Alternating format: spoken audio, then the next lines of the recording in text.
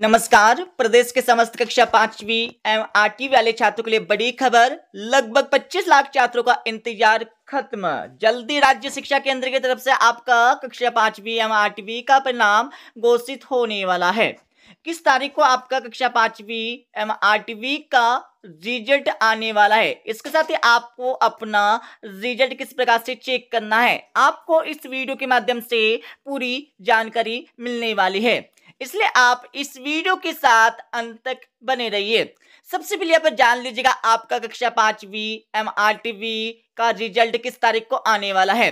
दोस्तों, हम आपको बता देते हैं, कक्षा पांचवी आठवीं का परिणाम 10 से लेकर 15 अप्रैल के बीच में।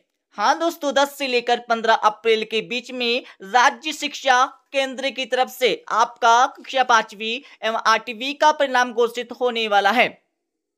अब आपको अपना कक्षा पांचवी एवं आठवीं का परिणाम किस प्रकार से चेक करना है, उसे चेक करने के लिए आपको डायरेक्ट यहाँ पर सर्च करना होगा। राज्य शिक्षा केंद्र रिज़ल्ट उसके बाद आपको यहाँ पर सर्च पे क्लिक कर देना है।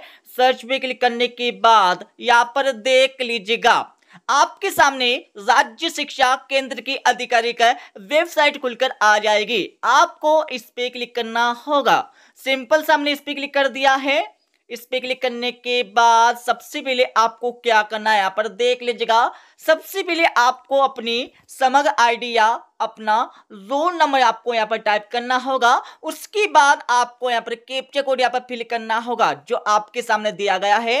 ये कैप्चा कोड आपको यहाँ पर फिल करना होगा। करने के बाद आपको यहाँ पर सो पे क्लिक करना होगा। जैसे आप सो पे क्लिक करेंगे तो आपके सामने कक्षा पांचवी एवं आठवीं का परिणाम खुलकर आ जाएगा। उससे आप डाउनलोड कर लीजिएगा।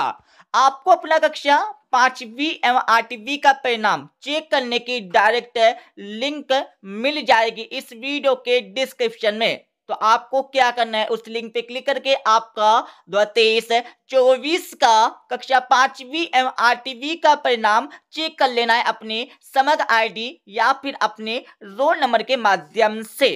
तो ठीक है दोस्तों, मिलते हैं अगले वीडियो में। जब तक ले जय हिंद, वंदे मातरम।